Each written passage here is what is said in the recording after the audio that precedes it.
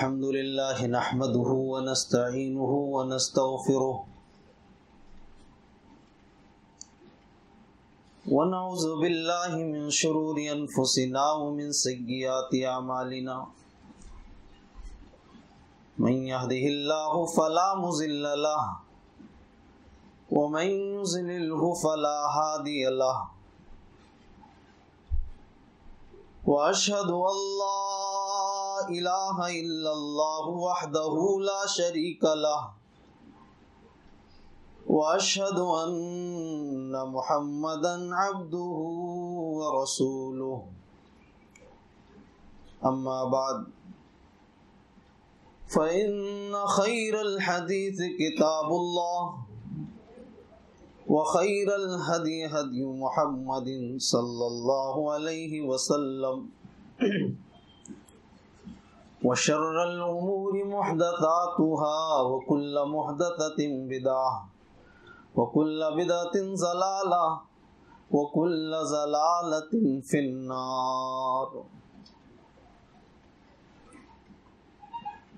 أعوذ بالله من الشيطان الرجيم. بسم الله الرحمن الرحيم. وذروا ظاهر الإثم وباطنه. إن الذين يكسبون الإثم سيجزون بما كانوا يقترفون.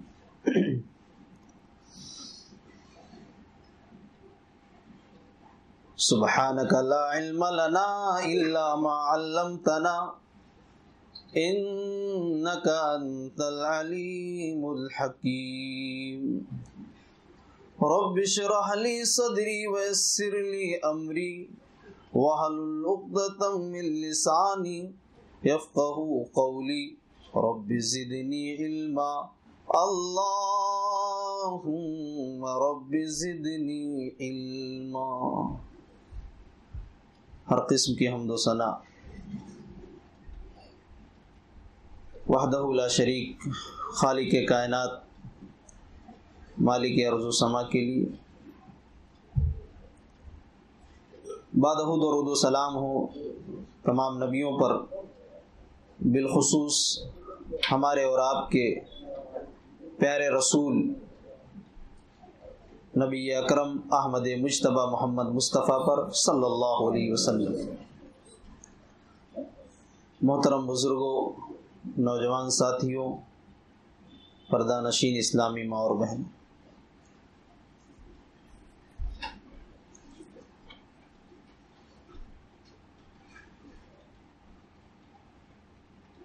عنوان کے تعلق سے آپ بخوبی واقف ہیں گناہ کے اسباب و نتائج۔ اسی مناسبت سے سور انعام کی ایک آیت کریمہ تلاوت کی گئی۔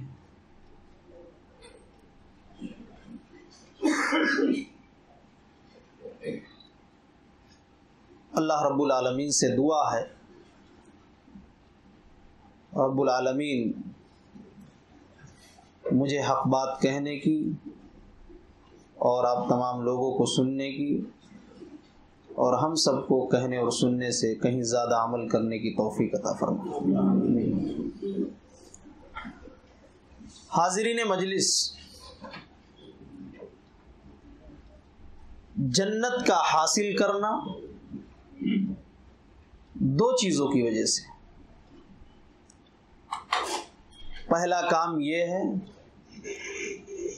کہ ہم اور آپ اعمال صالحہ کریں۔ اعمال صالحہ کریں۔ اور دوسری چیز یہ کہ ہر قسم کے گناہوں کو چھوڑ دیں۔ تو انشاءاللہ اللہ کی ذات سے امید ہے کہ ہم کو رات کو جنت مل کر رہے۔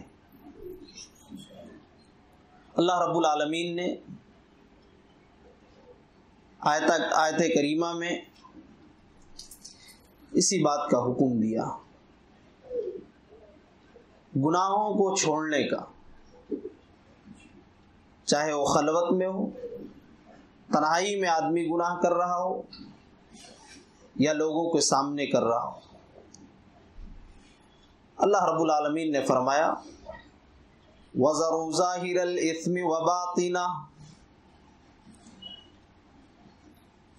تم ظاہری گناہ کو بھی چھوڑ دو۔ اور پوشیدہ گناہ کو بھی چھوڑ دو۔ وزر ظاہر الاسم وباطینہ تم ظاہر میں بھی جو گناہ کرتے ہو اسے بھی چھوڑ دو۔ اور پوشیدہ طور پر جو گناہ کرتے ہو اسے بھی چھوڑ دو۔ لوگوں کے سامنے جو گناہ کرتے ہو اسے بھی چھوڑ دو۔ اور رات کی تاریکی میں بند کمرے میں جو گناہ کرتے ہو اسے بھی چھوڑ دو۔ ان الذین یکسبون الاثم سیجزون بما كانوا یقترفون بلا شبہ جو لوگ گناہ کر رہے ہیں، انہیں ان کے کیے کی سزا قریب ملے گی۔ کہ اللہ رب العالمین نے ہم کو اور آپ کو اس بات کا حکم دیا کہ ہم اور آپ ہر قسم کے گناہوں کو چھوڑ دیں۔ اعمال صالحہ کرنے کے ساتھ ساتھ گناہوں کا چھوڑنا بھی ضروری ہے۔ ایسا نہیں کہ آدمی نماز پڑھتا رہے اور گناہ کرتا رہے۔ اس طریقے سے کامیابی نہیں مل سکتی ہے۔ آئیے دیکھتے ہیں کہ گناہ کسے کہتے ہیں۔ جو چیز ہمیں بیان کرنی ہے، چار قسمیں بیان کرنی ہے۔ نمبر ایک، گناہ کسے کہتے ہیں؟ ایک آدمی آخر گناہ کیوں کرتا ہے؟ اس کے اسباب کیا ہیں؟ آخر انسان گناہ کرتا کیوں؟ تیسری قسم، ہمارے گناہوں پر گناہوں کو لکھنے کے لیے اللہ رب العالمین نے کتنی چیزوں کو مقرر کر رکھا ہے۔ کتنی چیزیں ہمارے خلاف قیامت کے دن گواہی دی اور چوتھی قسم جو ہمیں بیان کرنا ہے وہ یہ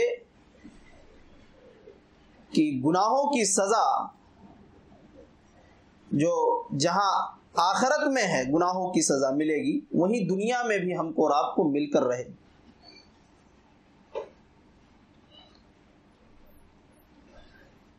گناہ کسے کہتے ہیں؟ علماء نے کئی تعریفیں کی۔ امام المفسرین ابن جریر طبری رحمت اللہ علیہ کہتے ہیں، ہر وہ کام جس کے ذریعہ اللہ رب العالمین کی نافرمانی کی جائے۔ یعنی اللہ کی حرام کردہ چیزوں کو انجام دے کر کے اللہ کو ناراض کیا جائے، یہ گناہ۔ ایک اور عالم دین، علامہ جرجانی رحمت اللہ علیہ، وہ کہتے ہیں کہ ہر وہ کام جس سے شریعت نے روکا ہے اور جس کے کرنے کو ہماری طبیعت بھی نہیں چاہتی ہے، ہر وہ کام جس سے ہماری شریعت نے بھی ہم کو روکا ہے اور جس کے کرنے کو ہماری طبیعت بھی نہ چاہتی ہو۔ مثال کے طور پر شرم گاہ دوسرے کے سامنے ظاہر کرنے سے جو ہے مذہب اسلام نے اس بات سے منع کیا ہے۔ ہمارے نبی نے اس بات سے منع کیا ہے۔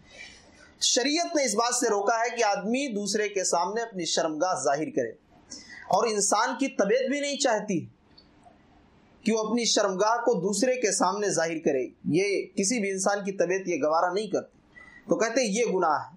اگر ایسا کوئی کام انجام دے یہ گناہ ہے۔ اور ایک عالم دین ہے، کئی علماء نے بہت سی تعریفیں کی، وہ کہتے ہیں کہ جس کام کے کرنے سے ہم ثواب کے کام سے رک جائیں یعنی کوئی کام ہم انجام دے رہے ہیں، ہم نے کوئی کام شروع کیا، اور اس کام کی وجہ سے اگر ہم ثواب کے کام سے رک گئے تو یہ گناہ یہ تو رہی علماء کی تعریف۔ آئیے دیکھتے ہیں۔ کہ اس ہستی اقدس و مقدس نے کیا تعریف کی ہے؟ گناہ کی؟ جو غضب میں بولتے تھے تو قانون بنتا تھا، خوشی میں بولتے تھے تو قانون بنتا تھا، چلتے تھے تو قانون بنتا تھا، ٹھہرتے تھے تو قانون بنتا تھا۔ نبی اکرم احمد مصطفیٰ محمد مصطفیٰ صلی اللہ علیہ وسلم نے کیا تعریف کی ہے؟ یہ ہم دیکھتے ہیں۔ صحیح مسلم کی روایت نواس ابن سمان رضی اللہ عنہ حدیث کے راوی ہیں۔ وہ کہتے ہیں سال تو رسول اللہ صلی اللہ علیہ وسلم عن البر والاثم کہ میں نے جناب محمد الرسول اللہ صلی اللہ علیہ وسلم سے سوال کیا، نیکی اور گناہ کے متعلق۔ فقال البر حسن الخلق. تو جناب محمد الرسول اللہ صلی اللہ علیہ وسلم نے فرمایا، نیکی تو اچھا اخلاق والاثم ما حاق في نفسك وكرهت ان يطلع عليه الناس. اور اے نواس، گناہ کہتے ہیں وہ چیز جو تمہارے دل میں کھٹکے اور تم یہ بھی چاہو کہ میرے اس کام کو کوئی دوسرا نہ جان سکے۔ یعنی ایک انسان کوئی کام انجام دے کر کے آئے اور اس کام کے کرنے کے بعد اس کا چین و سکون چھین جائے۔ رات کو لیٹ رہا ہے تو نیند نہیں آ رہی ہے۔ ادھر سے کروٹ ادھر بدل رہا ہے۔ تو اس کو سمجھ لینا چاہیے کہ وہ گناہ کر کے آیا ہے۔ اسے توبہ کرنی چاہیے۔ یہ جناب محمد الرسول اللہ صلی اللہ علیہ وسلم نے گناہ کی تعریف کی۔ آدمی کے دل میں اگر کوئی بات کھٹ کے کوئی کام انجام دے اور اس کے دل میں خواہش ہو کہ اس کام کو میرے کوئی دوسرا نہ جان سکے اور یہ بھی اسے بے چینی سوار ہو جائے، تو جان لو کہ وہ شخص گناہ کا کام کیا، اسے توبہ کر لینی چاہیے۔ یہ رہی گناہ کی تعریف۔ اگر ایسی کیفیت ہمارے اور آپ کے اندر پیدا ہو جائے، تو ہم کو اور آپ کو فوراً اللہ رب العالمین کے سامنے ہاتھ پھیلا کے توبہ کرنی چاہیے اور بخشش مانگنی چاہیے۔ اور آپ یہ بھی جان لیجیے کہ کسی بھی گناہ کو شروع میں چھوڑ دینا یہ زیادہ مفید ہوتا ہے۔ ایسا نہیں ہے کہ زیادہ دن تک گناہ کرنے کے بعد وہ گناہ نہیں چھوٹتا ہے۔ ایسا معاملہ نہیں ہے۔ گناہ آدمی چھوڑ سکتا ہے۔ کبھی بھی اللہ رب العالمین کی توفیق شامل حال ہے اسے ہدایت اللہ نے دیا۔ اس نے کوشش کی، ہدایت تلاش کیا، چھوڑ دے گا وہ۔ اللہ کا ڈر آ گیا، دل میں اللہ کا خوف آ گیا۔ لیکن کوئی بھی گناہ، کسی بھی گناہ کو شروع میں چھوڑ دینا ہے زیادہ مفید ہوتا ہے۔ آدمی ایک آدمی ہے، زیادہ دن سے سگریٹ پی رہا ہے، اس کو چھوڑنے میں بہت مشکل ہوتی ہے۔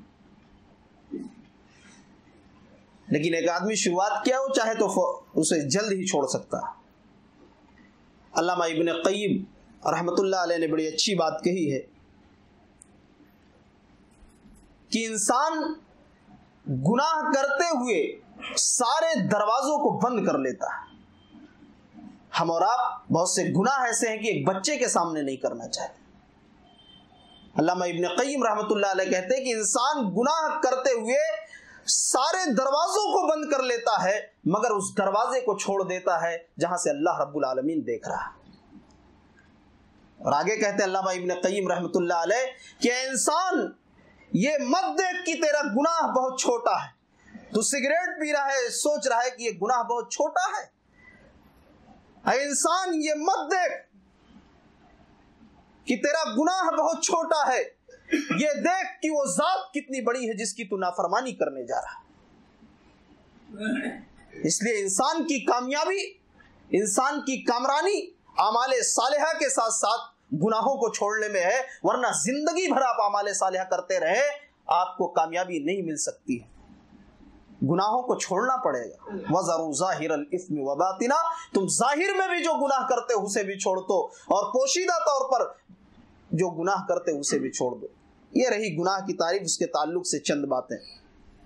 آئیے دیکھتے ہیں کہ ایک آدمی گناہ آخر کیوں کرتا ہے۔ اس کے اسباب کیا ہیں؟ چند چیزیں بیان کروں گا انشاءاللہ۔ دراصل انسان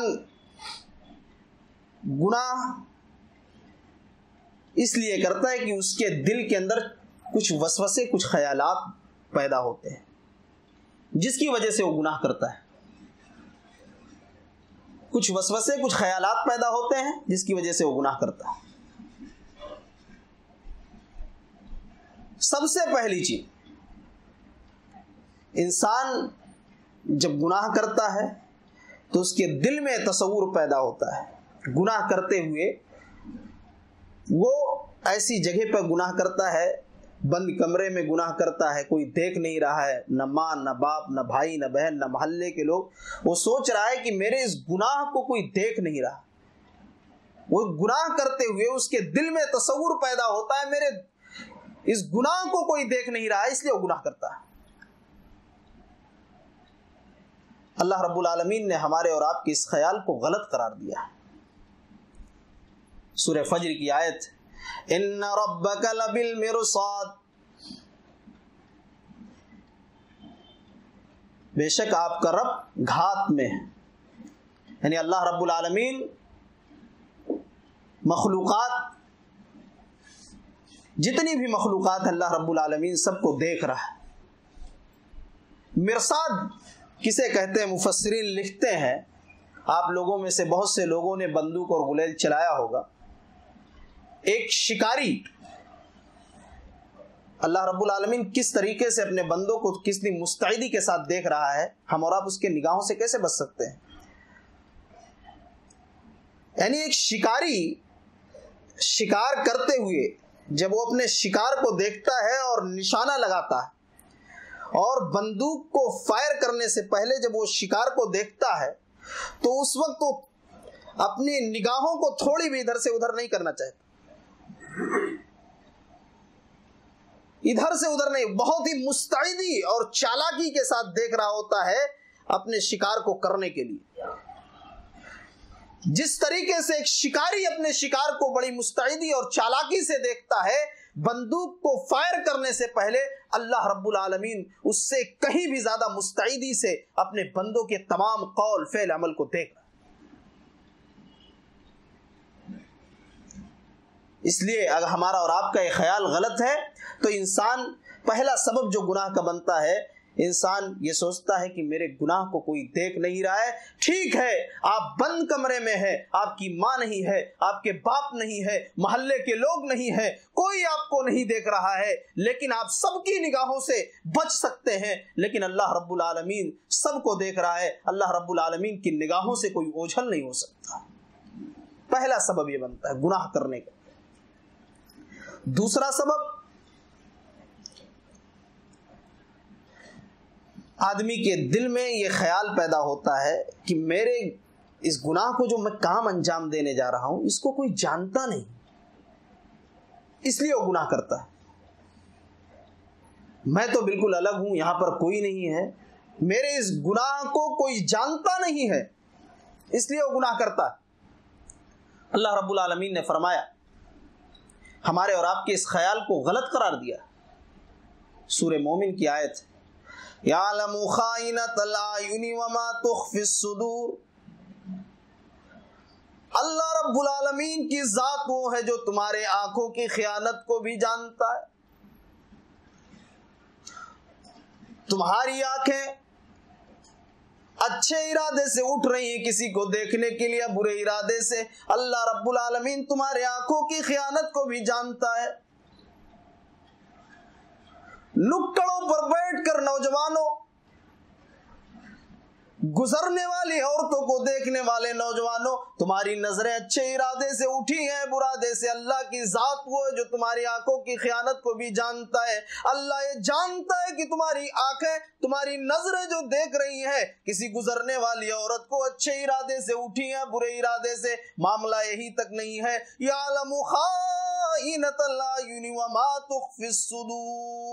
اللہ رب العالمین سینوں کی پوشیدہ باتوں کو بھی جانتا ہے۔ انہو علیم بذات الصدور۔ ہمارے اور آپ کے سینے میں جو دھک کی آواز اٹھ رہی ہے، اللہ رب العالمین اسے بھی جانتا ہے۔ اللہ رب العالمین اسے بھی جانتا ہے۔ اس لیے ہمارا اور آپ کا یہ خیال بالکل غلط ہے کہ میرے گناہ کو کوئی جانتا نہیں ہے۔ اللہ رب اللہ کوئی جانے نہ جانے اللہ رب العالمین ہمارے اور آپ کے گناہوں کو جانتا ہے۔ اس لیے ہم کو اور آپ کو گناہوں سے باز آنا چاہیے۔ ہر قسم کے گناہوں کو چھوڑ دینا چاہیے۔ محترم بزرگوں، نوجوان ساتھیوں، پردہ نشید اسلامی ماں اور بہن، یہ دوسری چیز۔ میرے گناہ کو کوئی دیکھ نہیں رہا ہے، میرے گناہ کو کوئی جانتا نہیں ہے۔ تیسرا سبب گناہ کرنے کا یہ ہے کہ جب آدمی گناہ کرتا ہے تنہائی میں، تو یہ سوچتا ہے جب گناہ کو انجام دینا رہتا ہے کہ میرے ساتھ اس وقت کوئی موجود نہیں۔ کہیں دور جا کے گناہ کرتا ہے، یہاں کا مان لیجیے رہنے والا ہے، تو بہت دور کہیں نکل جاتا ہے گناہ کرنے کے لیے۔ رمضان المبارک وغیرہ کے مہینے میں ایسا ہوتا ہے، بہت سے روزے دار ہوتے ہیں، اس علاقے میں تو لوگوں کے سامنے وہ روزے دار بنے رہتے ہیں، لیکن بہت سے دور نکل کر جا کر ان کی افطاری بارہ ایک بجے ہو جاتی۔ ہے یہ معاملہ دیکھنے کو ملا۔ یہ ہو رہا ہے۔ کہ گناہ کرتے ہوئے میرے ساتھ کوئی موجود نہیں ہے۔ اللہ رب العالمین نے ہمارے اور آپ کی اس خیال کو غلط قرار دیا۔ وہ ہوا معکم اینما کنتم۔ وہ تمہارے ساتھ ہے، اللہ رب العالمین تمہارے ساتھ ہے، تم جہاں کہیں بھی۔ اللہ رب العالمین تمہارے ساتھ ہے، تم جہاں کہیں بھی ہو۔ یہاں ایک عقیدے کی بات بتا دینا مناسب ہے۔ بہت سے لوگ مانتے ہیں کہ اللہ ہر جگہ موجود ہے، لیکن اللہ کی ذات عرش پر ہے۔ اور رحمان والش استوا اللہ اپنے علم اور قدرت کے اعتبار سے ہر جگہ موجود ہے۔ اگر یہ مان لیا جائے کہ اللہ ہر جگہ موجود ہے، تو شرک کے تمام دروازے کھل جائیں گے۔ شرک کے تمام دروازے کھل جائیں گے۔ ایک ہندو بھی جو مورتی کی پوجا کر رہا ہے، وہ بھی کہہ رہا ہے کہ اللہ اس میں ہے۔ بہت سے لوگ وادت الوجود کے قائل ہیں۔ کہ اللہ ہر چیز میں حلول کر چکا ہے یعنی درخت میں بھی اللہ، پتھر میں بھی اللہ، کنکر میں بھی اللہ۔ تو اگر اس عقیدے کو مان لیا جائے تو شرک کے تمام دروازے کھل جاتے ہیں۔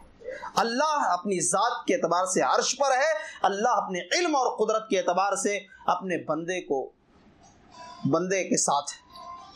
اس لیے ہمارا اور آپ کا یہ خیال غلط ہے کہ گناہ کرتے ہوئے جو ہمارے اور آپ کے دل میں تصور پیدا ہوتا ہے کہ میرے ساتھ کوئی نہیں ہے، میں اکیلا ہوں، یہاں پر کوئی میرے گناہ کو دیکھ نہیں رہا ہے۔ یہ ہمارا اور آپ کا یہ خیال غلط ہے۔ اللہ رب العالمین نے خیال کو غلط قرار دیا۔ بہت سے لوگ آپ لوگوں میں سے شاپنگ مال وغیرہ میں گئے ہوں گے۔ اس میں دیکھے ہوں گے آپ لوگ، جو کیشیئر ہوتا ہے، وہ سامنے گیٹ پر بیٹھا رہتا ہے، اسکرین سے اندر کے سارے نظارے کو دیکھتا رہتا ہے۔ اللہ رب العالمین کے دیے ہوئے علم پر ایک آدمی وہاں بیٹھ کر اپنے پورے دکان پر نظر رکھے ہوئے ہے، تو کیا وہ اللہ عرش پر بیٹھ کر اپنے بندوں کہ ساری چیزوں کو نہیں دیکھ سکتا ہے؟ بالکل دیکھ سکتا ہے۔ اللہ اپنے علم اور قدرت کے اعتبار سے ہر جگہ موجود ہے۔ یہ عقیدہ لوگوں کا غلط ہے کہ اللہ ہر جگہ موجود ہے۔ تو یہ گناہ کرنے کا تیسرا سبب بنتا ہے۔ چوتھا سبب گناہ کرنے کا یہ بنتا ہے آدمی گناہ اس لیے کرتا ہے کہ میرا کوئی کچھ بگاڑ نہیں سکتا۔ میں سگریٹ پیوں، بہت سے لوگ کھلے عام پیتے ہیں، میں شراب پیوں، نماز پڑھوں نہ پڑھوں۔ میرا کوئی کچھ بگاڑ نہیں سکتا، اس لیے وہ گناہ کرتا ہے۔ اور یہ چیز خاص کر کے نوجوانوں میں پائی جاتی ہے کہ جو مجھ سے ٹکرائے گا، وہ چور چور ہو جائے گا۔ یہ نوجوانوں کا نعرہ ہے۔ میرا کوئی کچھ بگاڑ نہیں سکتا۔ میرے بھائیوں اگر یہ خیال کسی کے دل میں آ گیا تو کبھی بھی نیک کام نہیں کر سکتا ہے۔ یہی چیز آئی تھی فرعون کے ذہن میں۔ یہی چیز آئی تھی قارون اور شداد کے ذہن میں۔ ٹھیک ہے، محلے کے لوگ آپ کا کچھ نہیں بگاڑ سکتے ہیں۔ آپ کا باپ کمزور ہے، آپ کی ماں کمزور ہے، آپ ظالم ہیں، جابر ہیں۔ آپ کا کوئی کچھ بگاڑ نہیں سکتا ہے۔ آپ شراب پیے سگریٹ نوشی کرے آپ نماز پڑھے نہ پڑھے آپ کا کوئی کچھ بگاڑ نہیں سکتا ہے۔ لیکن وہ اللہ بگاڑنے والا ہے، جس نے بہت سے جو ہے ظالموں کو نست و نابود کر دیا، بگاڑ دیا، وہ اللہ بگاڑنے والا ہے۔ جس نے قارون کو خزانہ سمیت دھسا دیا، وہ اللہ بگاڑنے والا ہے۔ جس نے فرعون کو جو ہے دریا میں ڈبو دیا، وہ اللہ بگاڑنے والا ہے۔ جس نے ابراہ کے لشکر کو چھوٹے چھوٹے پرندے اور اس کے کنکریوں کے ذریعے اللہ اللہ نے تباہ و برباد کر دیا۔ وہ اللہ بگاڑنے والا ہے، جس نے نمرود کو مچھروں کے ذریعے ہلاک و برباد کر دیا۔ کوئی بگاڑے نہ بگاڑے، میرے بھائیوں اللہ نے فرمایا، ان اخذہ علیم شدید، ان قیدی متین۔ اللہ رب العالمین کا عذاب، اللہ رب العالمین کی پکڑ بڑی سخت ہے۔ اللہ رب العالمین کی پکڑ بڑی دردناک اور نہایت سخت ہے۔ ان نقیدی متین، اللہ نے فرمایا، میری تدبیر بڑی مضبوط ہے، جب میں پکڑتا ہوں تو کوئی چھڑانے والا نہیں ہوتا ہے، اس لیے کوئی بگاڑے نہ بگاڑے، لیکن وہ اللہ بگاڑنے والا ہے، جس نے بہت سے ظالم و جابر کو اس دنیا سے ختم کر دیا، نیست و نابود کر دیا، آج ان کا نام لینے والا کوئی نہیں۔ تو یہ خیال جو ہمارے اور آپ کے دل میں پیدا ہوتا ہے، بہت سے لوگ دیکھیے، پیسہ اللہ نے دے دیا ہے، مال و دولت اللہ نے دے دیا ہے، وہ گناہ پہ گناہ کرتے جا رہے ہیں۔ میرا کوئی کچھ بگاڑ، ہم جو چاہیں کریں۔ ہمارا کوئی کچھ نہیں کر سکتا ہے۔ یہ لوگوں کے یہ ایک سبب بنتا ہے گناہ کرنے کا۔ آج لوگ اس وجہ سے زیادہ گناہ کر رہے ہیں کہ میرا کوئی کچھ نہیں کر سکتا، کھلے طور پر گناہ کر رہے ہیں تو یہ چیز اگر کسی کے ذہن میں یہ بات آ گئی تو کبھی نیک کام نہیں کر پائے۔ گناہ آدمی کیوں کرتا ہے؟ آخری سبب، دنیا کی محبت دنیا کو زیادہ حاصل کرنے میں کی کوشش میں وہ گناہ کرتا ہے۔ ایک آدمی جانتا ہے کہ میں دکان پہ بیٹھا ہوں، نماز پڑھنے نہیں جاؤں گا، چھوڑ رہا ہوں، یہ گناہ۔ ایک آدمی جانتا ہے کہ سود کھانا گناہ ہے۔ ایک آدمی جانتا ہے کہ اپنی دکان پر قسم کھا کر کوئی سودا بیچنا ایک گناہ ہے۔ کون نہیں جانتا ہے، لیکن دنیا کی محبت۔ ہے دنیا ہے دنیا۔ ایک دن ایسا آتا ہے ایک وقت ایسا بھی آتا ہے کہ وہی آدمی پوری دنیا کو بٹورنے کی چکر میں جو ہے موت کا فرشتہ آتا ہے، دستک دیتا ہے اور وہ جا کر شہر خاموشہ میں اسے لیٹنا پڑتا ہے۔ تو یہ ایک سبب بنتا ہے۔ دنیا دنیا زیادہ حاصل کرنے کی کوشش میں آدمی گناہ کرتا ہے۔ ہمیں صحابہ کرام کی زندگی کو پڑھنا ہوگا۔ پڑھنا ہوگا اور یہ جاننا ہوگا کہ یہ دنیا کی کوئی حیثیت نہیں ہے۔ نبی صلی اللہ علیہ وسلم کے فرامین پڑھنے ہوں گے۔ دنیا کی حقیقت کیا ہے؟ یہ ایک الگ موضوع ہے۔ دنیا کی محبت ہمارے اور آپ کے اوپر غالب ہو چکی جس کی وجہ سے ہم اور آپ زیادہ حاصل کرنے کی کسی کے پاس گاڑی ہے، بیس لاکھ کی، تو ہمارے پاس اس سے مہنگی گاڑی ہونی چاہیے۔ اس کے لیے چاہے ہم چوری کر کے لائیں، چاہے سود پہ لائیں پیسہ، کسی بھی حساب سے اس لیے آدمی گناہ کرتا ہے۔ آپ دیکھیے صحابہ کرام کی زندگی کہ ایک واقعہ مختصر طور پر پیش کرتا ہوں۔ سالم ابن عبداللہ۔ یہ حضرت عمر رضی اللہ عنہ کے پوتے ہیں۔ باپ بھی صحابی، حضرت عمر رضی اللہ عنہ بھی صحابی رسول، عبداللہ رضی اللہ عنہ یہ بھی صحابی رسول، اور پوتے سالم ابن عبداللہ یہ بھی صحابی رسول۔ سالم ابن عبداللہ حشام ابن عبد الملک کا زمانہ تھا، حکومت تھی اس سالم عبداللہ ایسے گھومتے رہتے تھے، کافی غربت میں ان کی زندگی گزر رہی تھی۔ کپڑے پہ کئی پیمن لگے رہتے تھے۔ ایک دن معاملہ کیا ہوا؟ سالم ابن عبداللہ خانہ کعبہ کے اندر بیٹھے ہوئے تھے۔ حشام ابن عبد الملک کی ملاقات ہو گئی۔ کہا، سالم بتاؤ تمہارے لیے تمہاری ضرورت کیا ہے، میں تمہاری ضرورت پوری کروں. اس لیے تم حضرت عمر رضی اللہ عنہ کے پوتے ہو اور مجھے شرم آ رہا ہے تمہاری حالت دیکھ کر۔ سالم ابن عبداللہ نے کہا کہ تم میری قیامت کے دن کی ضرورت پوری کرو گے یا دنیا کی؟ کہا اس دن کی ضرورت تو کوئی پوری نہیں کر سکتا ہے۔ اس لیے اللہ نے فرمایا ہے، وَلَا تَزِرُوا زِرَةٌ وِزْرَ اُخْرَى۔ اس دن کسی کا بوجھ کسی کے اوپر نہیں رکھا جائے۔ اس دن تو معاملہ یہ ہوگا، وَلَا يَسَلُ حَمِيمٌ حَمِيمًا۔ کوئی دوست کسی دوست کو پہچانے گا نہیں، کوئی دوست کسی دوست کی طرف دیکھنا تک گوارا نہیں کرے گا۔ سالم ابن عبداللہ نے کہا، کیا ضرورت پورا کر، پوری کرنا چاہتے ہو؟ حشام ابن عبد الملک جس کے ہاتھ میں حکومت تھی، اس نے کہا، دنیاوی ضرورت جو تم چاہتے ہو مجھ سے کہو، میں تمہاری ضرورت کو پوری کروں گا۔ اس طریقے سے تمہارا رہنا اچھی بات نہیں سالم ابن عبداللہ نے کہا، مجھے اللہ کے گھر میں خانے کعبہ کے اندر شرم آ رہی ہے کہ میں اللہ کو چھوڑ کر کسی غیر سے مانگوں، کسی غیر سے دنیا کا سوال کروں۔ حشام ابن عبد الملک نے کہا، ٹھیک ہے. وہ بھی خاموش ہو گیا۔ ایک دن معاملہ یہ ہوا کہ سالم ابن عبداللہ حجام کی دکان پر بال کٹوا رہے تھے۔ حشام ابن عبد الملک آیا، کہا، سالم، یہ تو اللہ کا گھر نہیں ہے۔ یہ اللہ کا گھر نہیں۔ یہاں بتاؤ تمہاری ضرورت کیا ہے؟ میں تمہاری ضرورت کو پوری کرتا ہوں۔ آج اگر ہم کو اور آپ کو دنیا کوئی دینے کے لیے آئے تھوڑی بھی چیز دینے کے لیے کہے، ہم اور آپ اس کے پیچھے بھاگ پڑتے ہیں۔ میرے بھائیو دیکھیے سالم ابن عبداللہ، کتنا زیادہ اللہ سے ڈرنے والے تھے، کتنا زیادہ آخرت کی تیاری کرنے والے تھے۔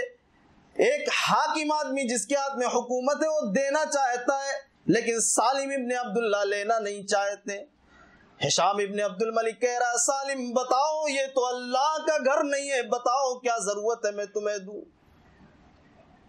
سالم ابن عبداللہ نے کہا، ما سالت الدنیا من یملکوها فکیف سالوها من لا یملکوها اے بادشاہ، دنیا تو میں نے اس سے بھی نہیں مانگی۔ اے حشام دنیا تو میں نے اس سے بھی نہیں مانگی جو اس دنیا کا مالک ہے۔ میں دنیا کا سوال تجھ سے کیسے کروں؟ جب تو دنیا کا مالک نہیں ہے، آج تیری حکومت ہے، کل تم مر جائے گا، کوئی تیری جگہ پہ دوسرا آ جائے گا۔ اے بادشاہ، سالم ابن عبداللہ نے کہا، اے حشام میں تجھ سے دنیا کا سوال کیسے کروں؟ یہ مجھ سے نہیں ہو سکتا۔ میرے بھائیوں یہ صحابہ کرام کی زندگی تھی۔ یہ صحابہ کرام کی زندگی تھی۔ ایک حاکم آدمی، وقت کا حاکم، وقت کا جو ہے پورا پورا خزانہ جس کے ہاتھ میں وہ دینے کے لیے کہہ رہا ہے کہ کیا ضرورت ہے بتاؤ۔ لیکن سالم ابن عبداللہ کہہ رہے ما سالت الدنیا من یملکوها فکیف اسالها من لا یملکوها دنیا تو میں نے کبھی اس سے بھی نہیں مانگی جو دنیا کا مالک ہے۔ تو اس سے دنیا کا کیسے سوال کروں؟ آج معاملہ دیکھیے، آج الیکشن چل رہا ہے، یہاں پہ بھی یو پی کے اندر ودھان سبھا کا الیکشن چل رہا ہے۔ دیکھیے کتنے مسلمان جو ہے بھاگ رہے ہیں، ہزار پانچ سو، دو ہزار پہ اپنے ایمان و عقیدے کو برباد کر رہے ہیں۔ یہ معاملہ ہوتا ہے۔ ابھی کل میں نے دیکھا ہمارے یہاں جو ہے ایک وہاں پر پروگرام تھا ایک پارٹی کی طرف سے۔ مسجد کے بغل میں نماز لوگوں نے صحیح سے نہیں ہو پائی، اتنا زیادہ شور و شرابہ اور جو ہے مسلمان لڑنے والا کتنے جو ہے ہندو، کتنے مسلمان جو ہے ٹیکا لگا رہے تھے، کیا کیا کر رہے تھے؟ یہ معاملہ دنیا، اتنا زیادہ دنیا ہم حاصل کرنے کی کوشش میں لگ گئے ہیں۔ تو یہ جو ہے ایک سبب یہ بھی ہے، آدمی، یہ پانچواں سبب ہے کہ آدمی جو ہے گناہ اس لیے کرتا ہے۔ دنیا کی محبت میں آدمی جانتا ہے کہ نماز نہیں پڑھنے، گناہ ہے۔ سود جانتا ہے، کھائیں گے، گناہ ہے۔ لیکن بہت سی چیزوں کو آدمی جانتے ہوئے کر ڈالتا ہے۔ دنیا کی محبت میں، دنیا کو زیادہ حاصل کرنے کے لیے۔ تو یہ گناہوں کے اسباب ہے گناہ آدمی کیوں کرتا ہے؟ یہ میں نے آپ لوگوں کے سامنے وضاحت کی چند چیزیں بتائی۔ آئیے دیکھتے ہیں کہ گناہ جو ہم گناہ کر رہے ہیں، اللہ رب العالمین نے کتنے گواہوں کو مقرر کر رکھا ہے ہمارے گناہوں کو لکھنے کے لیے۔ ہم اور آپ بچ نہیں پائیں گے۔ کتنی چیزوں کو اللہ رب العالمین نے مقرر کر رکھا؟ سب سے پہلی چیز، کوئی اور نہیں، ہمارا اور آپ کا نام اعمال جو تیار ہو رہا، جو دونوں کندھوں پر بیٹھے ہوئے فرشتے لکھ رہے ہیں۔ ما الفظ من قول الا لديه رقیب نتید انسان جو لفظ بھی بولتا ہے، اسے جو فرشتہ مقرر ہے لکھنے کے لیے، اسے نوٹ کر لیتا ہے۔ تو نام اعمال جو تیار ہو رہے ہیں، وہ ہمارے اور آپ کے سامنے رکھ دیے جائیں گے۔ یہ سب سے پہلی گواہی ہوگی۔ جو تیار ہو رہا ہے، پورے طریقے سے رجسٹر اس کو ہم اور آپ قیامت کے دن جھٹلا نہیں پائیں گے۔ اللہ رب العالمین نے سورہ کہف کے اندر فرمایا وَأُوزِيَ الْكِتَابُ فَتَرَ الْمُجْرِمِينَ مُشْفِقِينَ مِمَّا فِيهِ وَيَقُولُونَ يَا وَيْلَتَنَا مَا لِهَذَا الْكِتَابِ لا يغادر صغيرة ولا كبيرة إلا أحصاها. ووجدوا ما عملوا حاضرا ولا يظلم ربك أحدا. جب نام اعمال سامنے رکھ دیے جائیں گے، اے نبی، آپ گنہگار لوگوں کو دیکھیں گے، آپ گنہگاروں کو دیکھیں گے کہ اس کی تحریر سے خوف زدہ ہو رہے ہوں گے، ڈر رہے ہوں گے کانپ رہے ہوں گے۔ وَيَقُولُونَ يَا وَيْلَتَنَا مَا لِهَذَا الْكِتَابِ لَا يُغَادِرُ صَغِيرَةً وَلَا كَبِيرَةً إِلَّا أَحْصَاهَا۔ اور یہ کہہ رہے ہوں گے، ہائے ہماری خراب یہ کیسی کتاب ہے جس نے نہ کوئی چھوٹے گناہ کو چھوڑا ہے، نہ بڑے گناہ کو، مگر یہ کہ سب کچھ لکھ ڈالا ہے۔ وَوَجَدُوا مَا عَمِلُوا حَاضِرًا، اور وہ اپنے تمام کیے ہوئے کاموں کو حاضر پائیں گے، تمام کیے ہوئے کاموں کو جمع پائیں گے۔ وَلَا يَظْلِمُ رَبُّكَ أَحَدًا، اور اے نبی، آپ کا رب اس دن کسی پر ظلم نہیں کرے گا۔ آپ کا رب کسی پر ظلم نہیں کرے گا۔ جو جس سزا کے لائق اس کو سزا ملے گی، جو جہنم میں جلنے لائق اسے جہنم میں جلنا پڑے گا۔ اسے دنیا کی کوئی طاقت بچا نہیں سکتی۔ وہ دنیا میں کتنا بھی بڑا رہا ہو، اسے اگر جہنم میں جلنا ہے تو جہنم میں جلے گا۔ اور اگر کتنا بھی غریب فٹ پاتھ پر لیٹنے والا رہا ہو، اگر وہ جنت کا مستحق ہے تو اسے جنت ملے گی۔ تو پہلی چیز، نام اعمال ہمارے اور آپ کے سامنے رکھ دیے جائیں گے۔ اس لیے گناہ اور گنہگار جب دیکھیں، تحریر سے خوف زدہ ہو جائیں۔ کون سی ہے؟ ایسی کتاب ہے۔ جس نے نہ کوئی چھوٹا، ہم جو چھوٹ، چھوٹا گناہ کرتے تھے، تاریکی میں، تنہائی میں، پوشیدہ طور پر، وہ بھی اس میں ہے۔ اور لوگوں کے سامنے جو کرتے تھے، وہ بھی اس میں ہے۔ پریشان ہو جائیں گے۔ کہیں گے، ہائے ہماری خرابی، ہائے ہماری بربادی۔ دوسری چیز جو ہمارے گناہوں کو لکھ رہی، وہ کوئی اور نہیں۔ گناہوں کو لکھنے کے لیے اللہ رب العالمین دوسری چیز جو ہمارے اور آپ کے گناہوں کو لکھ رہی ہے یعنی ہمارے اور آپ کے گناہوں کی شہادت دے گی، گواہی دے گی وہ کوئی اور نہیں، جس زمین پر ہم اور آپ چلتے ہیں۔ یہ زمین ہمارے اور آپ کے خلاف گواہی دے گی۔ بالکل، زمین جہاں ہم جا رہے ہیں، جہاں چل رہے ہیں، جہاں بیٹھ رہے ہیں، زمین ساری چیز، اس دن زمین ٹی وی کی شکل میں بیان کرے۔ اسکرین آدمی دیکھے گا، اس وقت فلاں وقت میں کہاں ہے بیٹھا ہوا۔ ساری چیزیں اس کے نظروں کے سامنے آ جائیں گی۔ پڑھیے سورہ زلزال کیا ہے اذا زلزلت الارض زلزالها، جب زمین پوری طرح جھجوڑ دی جائے گی، واخرجت الارض اثقالها اور اپنے بوجھ کو باہر نکال پھینکے گی، وقال الانسان ما لها، اور انسان کہے گا، اسے کیا ہو گیا ہے؟ یومئذ تحدث اخبارا، اور اس دن زمین بھی اپنی خبریں بیان کرنے لگے گی۔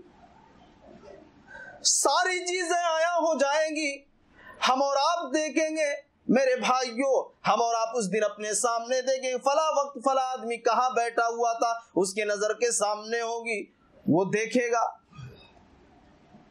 یہ معاملہ ہوگا زمین جس پر ہم چلتے ہوں، ہمارے خلاف گواہی دے ہمارے گناہ جو ہم اور آپ کر رہے ہیں، ساری چیزیں اس دن آیا ہو جائے۔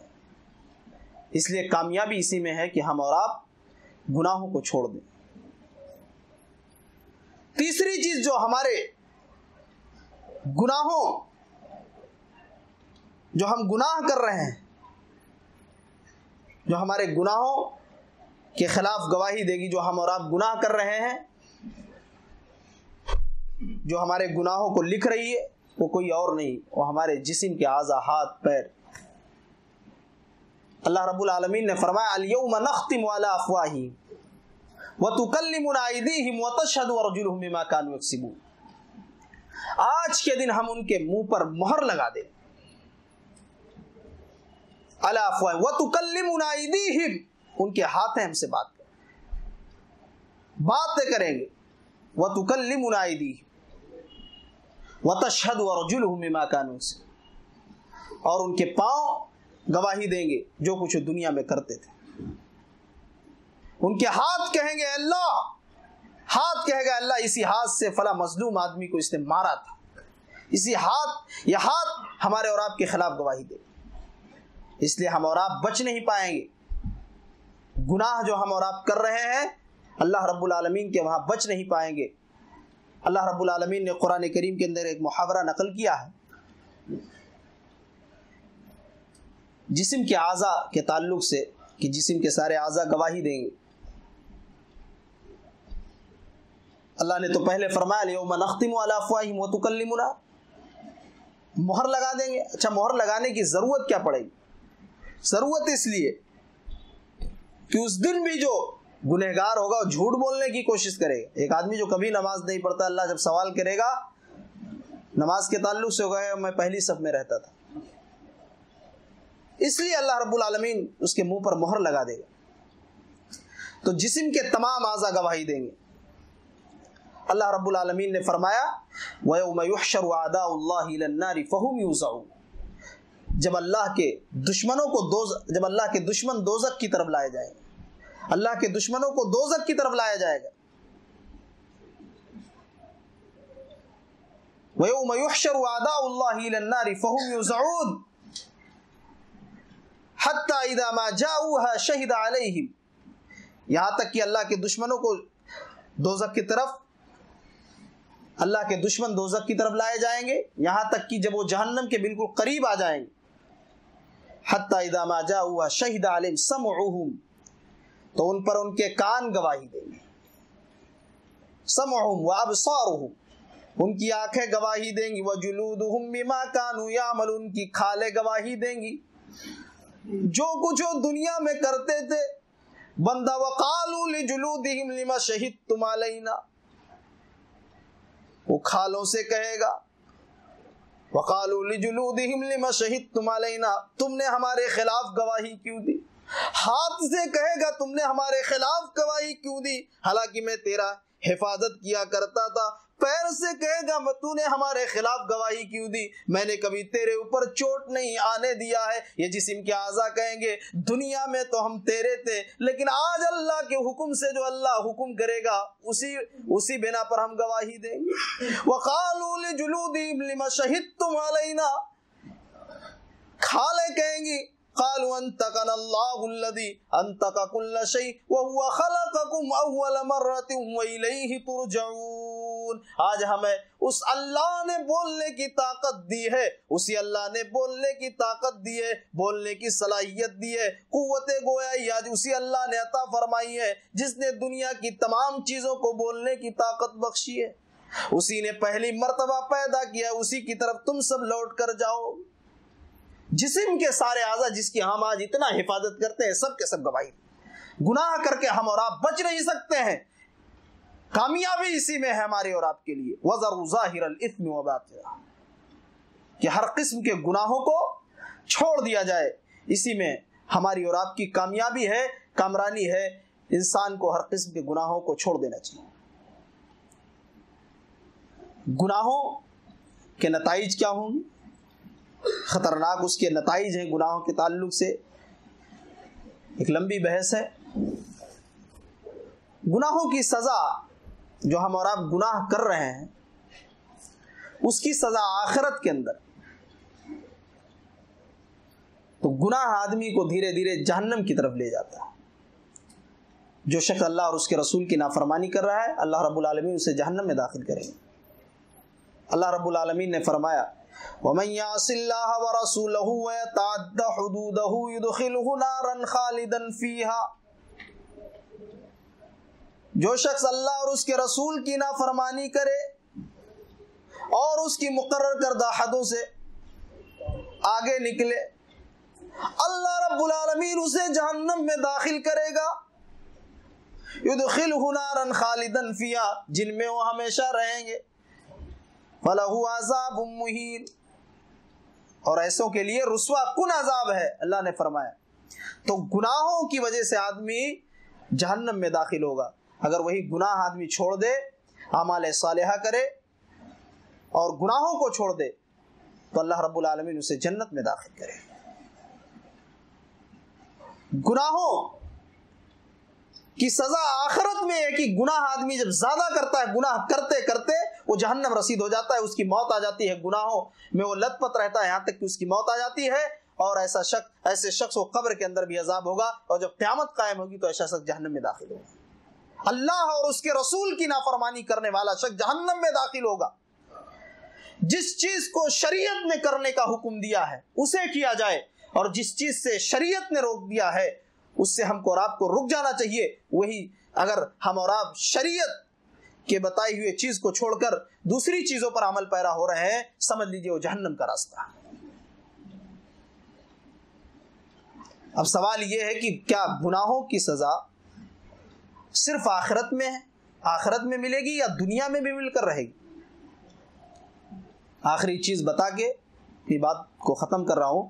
کیا گناہوں کی سزا دنیا میں، آخرت میں ہی ملے گی یا دنیا میں بھی مل کر رہے گی؟ میرے بھائیوں ایک ایمان والے، ایک ایمان والا بندہ ہے۔ اس کے لیے جہاں گناہوں کی سزا آخرت میں ہے، وہی دنیا میں بھی ہے۔ کافروں کا معاملہ چھوڑ دیجیے۔ اللہ رب العالمین نے فرمایا کافروں کے تعلق سے، فما کافری نامی اے نبی، آپ انہیں مہلت دی دیجیے، میں بھی انہیں مہلت دیتا ہوں۔ آپ کو یہ ستا رہے ہیں۔ آپ کی تکزیب کر رہے ہیں۔ آپ کو پتھر مار رہے ہیں۔ آپ کو پریشانیاں دے رہے ہیں۔ آپ کو ستا رہے ہیں۔ آپ جو دین کی دعوت دے رہے ہیں، اسے مان نہیں رہے ہیں۔ آپ کو تکلیفیں دے رہے ہیں، لیکن آپ انہیں مہلت دے دیجیے۔ الکافرین مرویدہ آپ انہیں مہلت دے دیجیے۔ میں بھی انہیں مہلت دیتا ہوں۔ کافروں کے لیے دنیا جنت ہے۔ صحیح مسلم کی روایت ہے۔ اللہ کے پیارے نبی فرماتے ہیں۔ لو کالا اللہ کے پیارے نبی فرماتے ہیں، دنیا سے جن المومن و جنت الکافر۔ دنیا مومن کے لیے قید خانہ ہے وہ جنت الکافر اور کافروں کے لیے جنت ہے۔ اس لیے جنت ہے کافروں کے لیے کہ وہ کوئی حد ان کے اوپر نہیں ہے، کوئی نظام نہیں ہے، کوئی حد نہیں مقرر ہے کہ وہ کس طریقے سے زندگی گزارے۔ وہ دائرے کے اندر نہیں ہوتے ہیں، وہ جس طریقے سے چاہے دنیا میں زندگی گزار سکتے ہیں۔ لیکن آدمی جب اسلام قبول کر لیا ایک آدمی نے لا الہ الا اللہ کا اقرار کر لیا، محمد الرسول اللہ کا اقرار کر لیا، اس نے کلمہ پڑھ لیا تو اس کو آزادی نہیں ہے، اس کو زندگی صرف اور صرف گزارنی ہے تو صرف جناب محمد الرسول اللہ صلی اللہ علیہ وسلم کے طریقے پر زندگی گزارنی ہے۔ دنیا کی کوئی حیثیت بھی نہیں ہے۔ اللہ کے پیارے نبی فرماتے ہیں ترمیزی کی روایت ہے لوکانت دنیا تعدل عند اللہ جناح بعوزت ما سقا کافرم منہا شربت مائی۔ اگر دنیا کی وقات، دنیا کی قدر، دنیا کی حیثیت اللہ کے نزدیک مچھر نہیں، بلکہ مچھر کے پر کے برابر بھی ہوتی۔ دنیا کی حیثیت، دنیا کی قدر اگر اللہ کے نزدیک مچھر کے پر کے برابر بھی ہوتی، تو اللہ رب العالمین ان کافروں کو پانی بھی نہ پلاتا۔ یہ جو اللہ کی نافرمانی کر رہے ہیں، اللہ رب العالمین کی نافرمانی کر رہے ہیں اور اپنے طریقے پر زندگی گزار رہے ہیں، گناہ کر رہے ہیں، اللہ رب العالمین ان کو ایک گھوٹ پانی بھی نہ پلاتا۔ تو دنیا کی کوئی حیثیت نہیں ہے۔ لو کانت الدنیا تعدل عند اللہ جناح بعوزت ما سقا کافرا منها شربت ماء مچھر نہیں، مچھر میں تو پھر بھی جان ہے، مچھر کے پر کے برابر بھی۔ اگر اللہ کے نزدیک دنیا کی قدر و قیمت ہوتی تو اللہ رب العالمین جو ہے، ان لوگوں کو ایک گھوٹ پانی بھی اس دنیا کے اندر سے نہ، اس دنیا میں سے نہ پلاتا۔ تو دنیا کی کوئی حیثیت نہیں، کافروں کا معاملہ چھوڑ دیجیے لیکن ایک ایمان والے اگر ایک ایمان والے ایمان والا شخص اگر گناہ کر رہا ہے، اس کے لیے جہاں سزا آخرت میں ہے، وہی اسے دنیا میں بھی ملے، مل کر رہے۔ اللہ رب العالمین نے فرمایا، ولا يحيق المكر السيء الا باهل تمہارے برے تدبیروں کا نتیجہ، برے کاموں کا نتیجہ تمہارے اوپر، تمہارے اہل و عیال کے اوپر لوٹ کر رہے۔ تمہارے برے کاموں کا نتیجہ، تمہارے گناہوں کی سزا تمہارے اوپر اور تمہارے اہل و عیال پر لوٹ کر رہے گی۔ ولا يحيق المكر السيء الا باهله کیسے تم کسی کے بہو بیٹیوں پر غلط نظر اٹھاؤ گے، دوسرا کھڑا ہوگا تمہاری بہو بیٹیوں پر غلط نظر اٹھانے کے ولا يحيق المكر السيء الا باهله انما بغيكم على انفسكم متاع الحیات الدنیا انما بغيكم على انفسكم تمہاری زیادتیاں تمہارے گناہوں کی سزا تمہارے تمہارے گناہوں کی سزا، انما بغیکم علی انفسکم، تمہارے گناہوں کی سزا تمہیں مل کر رہے گی دنیا کے اندر۔ کبھی تم بیمار ہوگے، کبھی تمہارا بچہ بیمار ہوگا، کبھی تمہارے سامنے نوجوان بیٹے کا تمہارے ایکسیڈنٹ ہوگا، کبھی تمہارے ہارٹ کا معاملہ ہوگا، کبھی کچھ ہوگا، کبھی کہیں تمہارے دکان میں آگ لگے گی، کبھی مکان جلے گا، کبھی ایکسیڈنٹ کے حالات آئیں گے۔ انما بغیکم علی انفسکم، تمہاری زیادتیاں تمہارے اوپر لوٹ کر رہیں گی، تمہارے گناہوں کی سزا تمہیں مل کر رہے گی۔ دنیا کے اندر بھی۔ اور یہ ہم اور آپ دیکھ رہے ہیں۔ گناہوں کی سزا۔ آج ہم اور آپ جو پریشان ہیں، ہمارے اور آپ کی گناہوں کی سزا ہم اور آپ سمجھ نہیں پا رہے۔ میرے بھائیوں، تو وزر ظاہر الفم و باطنہ کامیابی وہ کامرانی اسی میں ہے کہ ہم اور آپ گناہوں کو، ہر قسم کے گناہوں کو چھوڑ دیں۔ ظاہر میں جو گناہ کر رہے ہیں، پوشیدہ طور پر جو کر رہے ہیں، سارے ہر قسم کے گناہوں کو چھوڑ دیں۔ اس لیے اگر ہم اور آپ گناہ کریں گے تو اس کا نتیجہ یہ ہوگا کہ ہم اور آپ جو ہے، ہم کو ہم اور آپ دنیا میں بھی پریشان حال رہیں گے، دنیا میں بھی پریشانی میں مبتلا رہیں گے۔ اللہ رب العالمین پریشانیوں سے دو چار کرے گا اور آخرت میں سب سے بڑا خسارہ یہ ہوگا کہ ہم اور آپ جو ہے اس دن ذلت اور رسوائی، ہم اور آپ ذلیل و رسوا ہوں گے، جہنم رسید ہو جائیں گے۔ میرے بھائیوں، کامیابی و کامرانی اسی میں ہے کہ آدمی جو ہے ہر قسم کے گناہوں کو چھوڑ دے، اعمال صالحہ کرے تاکہ وہ جہنم سے بچا لیا جائے۔ اللہ نے فرمایا، فمن زحزی عن النار وادخل الجنت فقد فاز وما الحیات الدنیا الا متاع الغرور. قیامت کے دن فمن زحزی عن النار وادخل الجنت فقد فاز. جو شخص جہنم کی آگ سے بچا لیا جائے گا اور جنت میں داخل کر دیا جائے گا، وہ شخص کامیاب ہو گیا. وما الحیات الدنیا الا متاع الغرور. یہ دنیا تو بڑی فریبی ہے، بڑی دھوکے باز ہے۔ اس دنیا کی چکر میں جو پھنسا ہے، اس کی آخرت تباہ و برباد ہو گئی ہے۔ اس لیے ایسی دنیا آدمی کو طلب نہیں کرنی چاہیے۔ ایسی دنیا حاصل کرنے کی کوشش نہیں کرنی چاہیے جس سے اس کی آخرت برباد ہو جائے، تباہ ہو جائے۔ میرے بھائیوں تو پچاس ساٹھ سالہ زندگی ہے۔ اگر آخرت میں ہم اور آپ ذلیل و رسوا ہو گئے، اس دن کوئی کسی کے کام نہیں آئے گا۔ میرے بھائیوں جو بھی ساتھ ہوگا، یہی اعمال صالحہ ہوگا جو ہم اور آپ دنیا میں کر گزریں گے۔ اس لیے ہم کو اور آپ کو چاہیے کہ ہم اور آپ ہر قسم کے گناہوں کو چھوڑ دیں۔ ایک آخری چیز بتا کے اپنی بات کو ختم کر رہا ہوں۔ ابراہیم ابن ادہم، یہ ہمارے سلف میں سے ہیں۔ ان کے اقوال بڑے اچھے اچھے آتے ہیں۔ ابراہیم ابن ادہم کے پاس ایک شخص آیا۔ اس نے کہا، ابراہیم ابن ادہم سے ایک نوجوان شخص آیا۔ کہا کہ میں گناہ کرنا چاہتا ہوں، لیکن میں چاہ رہا ہوں کہ میں گناہ کروں تو اللہ رب العالمین مجھے سزا نہ دے۔ ایک عجیب سا سوال تھا۔ لیکن اللہ کے نیک بندوں کے پاس جواب بھی ایسے ہوتے ہیں۔ کوئی ضروری نہیں ہے کہ ہر آدمی کے سوال کا جواب قرآن و حدیث سیدھی سے دیا جائے۔ کبھی کبھی عقل سے بھی جواب دینا پڑتا ہے۔ عقل سے بھی جواب دینا پڑتا ہے۔ انگریزوں نے کہا تھا، جب ہندوستان کے اندر انگریز قابض تھے تو ان لوگوں نے کہا تھا، شاہ اسماعیل شہید سے کیا کہا تھا؟ کہ یہ بیوقوفی والی بات ہے جو لوگ اپنے چہرے پر داڑھی رکھ رہے ہیں، بیوقوفی کی علامت ہے۔ اس لیے کہ جب ایک بچہ پیدا ہوتا ہے تو اس کے داڑھی نہیں ہوتی ہے۔ اور فطرت یہی ہے کہ آدمی کے چہرے پر داڑھی نہ ہو، کیونکہ بچہ بغیر داڑھی کے پیدا ہوتا ہے، یہی فطرت۔ دیکھیے، شاہ اسماعیل شہید نے کیا جواب دیا۔ کہا، ٹھیک ہے، بچہ جب پیدا ہوتا ہے انگریزوں تو اس کے دانت بھی نہیں ہوتے ہیں، اس لیے سب لوگوں کو دانت بھی توڑوا دینے چاہیے۔ تو جواب اس طریقے سے ہوتے ہیں اللہ کے نیک بندوں کے پاس۔ تو ابراہیم ابن ادہم کے پاس ایک نوجوان ہے کہ میں گناہ کرنا چاہتا ہوں، لیکن میں بھی چاہتا ہوں کہ مجھے سزا نہ دے اللہ تعالیٰ، میں بچ جاؤں۔ ابراہیم ابن ادہم نے کہا، ٹھیک ہے، تو گناہ کر، لیکن چند چیزیں میں بتاتا ہوں۔ اگر تو اس کے لیے کرنے کے لیے تیار ہو جائے تو میں گارنٹی لیتا ہوں، میں لکھ کے دیتا ہوں۔ کہ اللہ تجھے عذاب نہیں دے گا، اللہ تجھے سزا نہیں دے گا، تو جا گناہ کر۔ ابراہیم ابن ادہم نے کہا، میرے بھائی، میرے نوجوان ساتھی، تو اللہ کے نگاہوں سے اوجھل ہو جا، ایسی جگہ جا کر گناہ کر کہ جہاں سے اللہ رب العالمین، جہاں اللہ رب العالمین تجھے دیکھ نہ سکے۔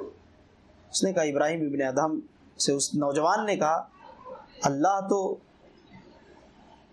اپنے بندوں کی تمام چیزوں کو دیکھ رہا ہے۔ اللہ سمیع و بصیر ہے۔ اللہ کی نگاہوں سے کون اوجھل ہو سکتا ہے؟ یہ نہیں ہو پائے گا۔ اللہ کی نگاہوں سے ہم نہیں بچ پائیں گے۔ ہم کہیں بھی چلے جائیں۔ ابراہیم ابن ادم نے کہا، میرے ساتھی، پہلا کام میں نے تجھے بتایا، کرنے کے لیے کرنے کے لیے تیار نہیں، ٹھیک ہے۔ تو اگر گناہ کرنا چاہتا ہے، تو تو اللہ کے اس زمین کو چھوڑ دے۔ اور گناہ کر میں گارنٹی لیتا ہوں کہ اللہ تعالیٰ تجھے سزا نہیں دے گا۔ اس نے کہا تھوڑی دیر، کتنے دیر ہم ہوا میں رہیں گے؟ یہ تو زمین، ساری زمین اللہ کی کہاں ہم چلے جائیں؟ یہ بھی نہیں ہو پائے گا۔ ابراہیم ابن ادہم نے تیسری چیز بتایا اس کہا، ٹھیک ہے، دو چیزیں میں نے تجھے بتایا۔ میرے ساتھی، تو کرنے کے لیے تیار نہیں ہوا ہے۔ تیسری چیز۔ ابراہیم ابن ادہم نے کہا کہ جب موت کا فرشتہ تمہارے پاس آئے گا روح قبض کرنے کے لیے، تو اس سے مہلت مانگ لینا۔ بتا دینا کہ میں کرلا کا بہت بڑا آدمی تھا۔ بہت بڑا۔ اس وقت بتانا کہ میں بہت بڑا یہاں کا آدمی ہوں، میری بڑی عزت ہے۔ بتا دینا کہ بہت بڑا میں آدمی تھا، تھوڑا سا مجھے مہلت دے۔ تھوڑی مہلت مانگ لینا، موت کے فرشتے سے۔ اس نے کہا، نہیں، اللہ نے تو فرما وَلَيُوَخِّرَ اللَّهُ نَفْسًا اِذَا جَاجَلُهَا واللہ خبیر بما تعمل کسی کا جب مقررہ وقت آ جاتا ہے تو اسے ہرگز مہلت نہیں دی جاتی ہے۔ اللہ رب العالمین اس کے بعد تمام کام متعلق تمہیں خبردار کرے گا۔ یہ بھی نہیں ہو پائے گا۔ تین چیزیں ابراہیم ابن ادم نے بتایا۔ کہا، یہ بھی نہیں ہو پائے گا۔ ابراہیم ابن ادم نے کہا، ٹھیک ہے، تین چیزیں میرے بھائی بتایا۔ چوتھی چیز میں بتا رہا ہوں گا تو کرنے کے لیے تیار ہو جا جا تو گناہ کر، میں گارنٹی لیتا ہوں۔ اس نے کہا، بتائیے ابراہیم ابن ادم کی ابن ادم نے کہا کہ تو اللہ کے کھانا پانی کو چھوڑ دے اور تو گناہ کر جو کرنا ہے۔ اس نے کہا پانی بھی اللہ کا، کھانا بھی اللہ کا۔ یہ بھی نہیں ہو پائے گا۔ مر جاؤں گا میں، دو تین دن بھوکا رہوں گا زیادہ سے زیادہ۔ یہ بھی نہیں ہو پائے گا۔ ابراہیم ابن ادم نے کہا میرے بھائی، چار چیزیں میں نے تجھے بتایا۔ آپ پڑھیے ابراہیم ابن ادم کے اقوال بڑے اچھے اچھے ہیں اور ان کا واقعہ۔ ابراہیم ابن ادم نے کہا، چار چیزیں میں، پانچویں چیز ابراہیم ابن ادم نے کہا کہ ایسا ہے کہ جب قبر کے اندر جب سوال و جواب کے لیے فرشتے آئیں گے، جنہیں منکر نکیر کہا جاتا ہے، جب وہ آئیں گے سوال جواب کرنے کے لیے، تو انہیں ڈانٹ کر اس وقت بھگا دینا اور بتا دینا کہ میں بہت بڑا آدمی اس نے کہا کہ اللہ کے فرشتوں کو کون بھگا سکتا ہے؟ اللہ کے فرشتوں کو کون بھگا سکتا ہے؟ اللہ کے نبی صلی اللہ علیہ وسلم نے جبرائیل امین کو ایک مرتبہ اپنے اصلی شکل میں دیکھا تو زمین و آسمان میں جتنی خالی جگہ تھے، ان کے جبرائیل امین کا جو پر تھا، اس سے پر تھا۔ اللہ کے فرشتوں کو کون خبر کے اندر بھگا سکتا ہے؟ یہ نہیں ہو پائے گا ابراہیم۔ ابراہیم ابن ادم نے کہ میرے بھائی، جب تو اتنا کمزور ہے، تو گناہ کرنا کیوں چاہتا آخر یہ بات سمجھ میں نہیں آ رہی۔ آخری چیز بتا رہا ہوں، اگر تو کرنے کے لیے تیار ہو جا، تو جا تو گناہ کر۔ میں لکھ دیتا ہوں گارنٹی دیتا ہوں، تجھے کوئی سزا نہیں دے گا۔ اللہ رب العالمین تجھے عذاب نہیں دے گا۔ ابراہیم ابن ادم نے کہا، جب قیامت قائم ہوگی اور جنت و جہنم کا فیصلہ ہوگا، اللہ رب العالمین تیرے بارے میں جہنم کا فیصلہ کرے گا۔ جب فرشتہ جہنم کا دروگا آئے گا، تجھے گھسیٹنے کے لیے، تو اسے پکڑ لینا۔ اور بولنا کہ میں بہت بڑا آدمی تھا پکڑ لینا، اسے میں جہنم میں نہیں جاؤں گا۔ اس نے کہا، یہ کام نہیں ہو سکتا ہے۔ اس وقت تو اللہ کے کتنے فرشتے ہوں گے، ہمیں ہی نہیں معلوم کہاں گھسیٹ کے کر دیں گے۔ اس سے بھی میں نہیں بچ پاؤں گا۔ ابراہیم ابن ادہم نے کہا، میرے بھائی، کامیابی و کامرانی اسی میں ہے۔ کہ تو ہر قسم کے گناہوں کو چھوڑ دے۔ جب اتنا کمزور، اتنا حقیر تو ہے، ہم اتنا کمزور، اتنا حقیر ہے تو ہم اور آپ آخر گناہ کیوں کرتے ہیں؟ نوجوان ساتھی کو ابراہیم ابن ادہم نے سمجھایا، کہا، اس لیے انسان بہت ہی زیادہ حقیر ہے۔ ہر انسان کو مرد ہو، عورت ہو، سب کو گناہوں کو چھوڑ دینا چاہیے۔ انسان کی کامیابی و کامرانی اسی میں ہے۔ اللہ رب العالمین سے دعا ہے۔ رب العالمین، ہم تمام لوگوں کو اعمال صالحہ کرنے کی توفیق عطا فرمائے۔ ہر قسم سے گناہوں سے بچنے کی توفیق عطا فرمائے۔ جب تک زندہ رکھے اسلام پر، خاتمہ بالخیر۔ خیر عطا فرمائے. آمین. واخر دعوانا الحمدللہ رب العالمین. السلام علیکم ورحمۃ اللہ وبرکاتہ.